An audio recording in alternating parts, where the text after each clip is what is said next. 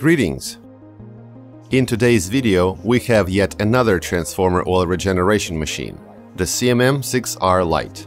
Those of you who have been following our videos are already familiar with the regeneration technology from the CMM6R video. That video featured a CMM6R machine in premium design.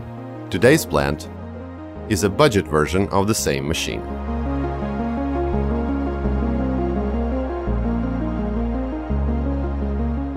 Let's first talk about the area of application for this plant. The original idea was to regenerate transformer oil by adsorption with Fuller's Earth. The actual machine has six regeneration columns with 75 kilograms of Fuller's Earth in each column.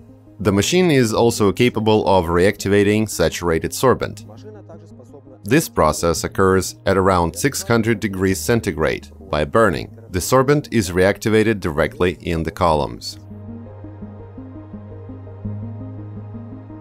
Therefore, the machine is a complete oil regeneration solution with semi-automatic controls.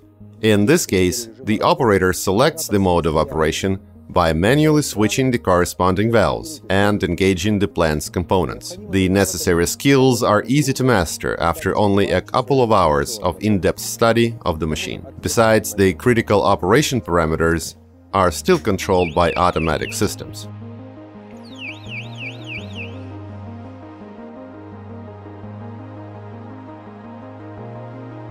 This machine will be very handy for anyone involved in transformer servicing. The compact dimensions of the CMM6R Lite make it very easy to transport on and around the site.